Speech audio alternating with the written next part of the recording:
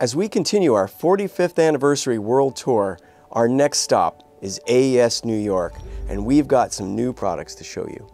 So come and listen to our new 8381 adaptive point source main monitors with our 714 Dolby Atmos system. Learn about our new Unio platform and recently launched 9320A reference controller. And of course, we have some special guest presentations you won't want to miss. We look forward to seeing you there.